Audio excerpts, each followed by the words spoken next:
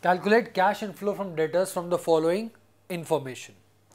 Now students, the information here includes credit sales of rupees 2 lakh, bad debts of 15,000, discount allowed 5,000, opening debtors 14,000, closing debtors 25,000 and sales return of 10,000. Remember students, we can clearly see here that there are no opening balances for bills receivable or closing balances for bills receivable. Since the balances are not there, this account will not be prepared and we will straight away move to preparation of debtors account. So total debtors account. Again remember this account is in T format.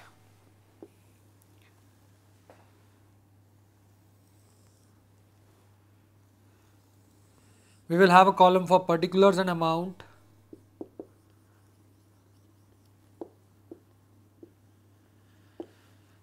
And particulars here amount.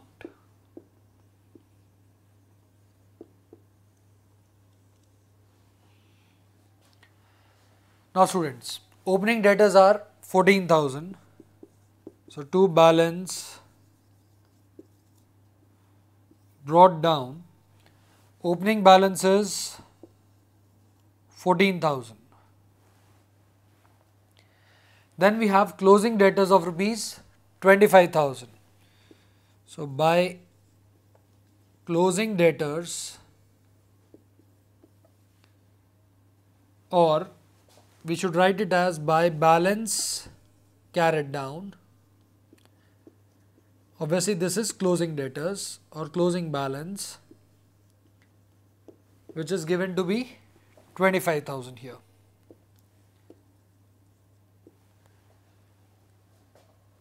Now students, I'll mention here as opening balance. Let us look at the other information. Credit sales is given to be 2 lakh. So we will write here on the debit side to credit sales rupees 2 lakhs. Then we have bad debts Bad debts means the amount of debtors which are not paying now. So this is a loss. This leads to reduction in the amount of bad debtors. So by bad debts, 15,000.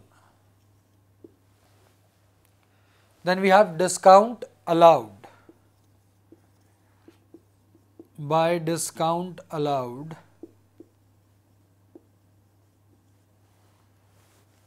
5000 rupees. Opening debtors we have already done, closing debtors we have entered, then sales return. Sales return would be entered on the credit side. Sales return account amount is 10,000. So now students, let us total this out. The total on the debit side is 2 lakh 14,000 and the total on the credit side comes to 20, 30 and 25, 55,000. So we can calculate the balance as in the normal account 2 lakh 14,000 minus this total that is 55,000. So whatever is the amount would be written as by cash and this is collection from debtors. This would come to be 2 lakh 14,000 minus 55,000 which is 1 lakh 59,000.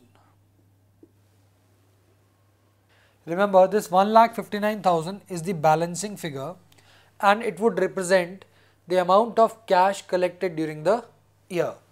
And while preparing this account, you must remember to write credit here and debit here as this is debit side and this is the credit side.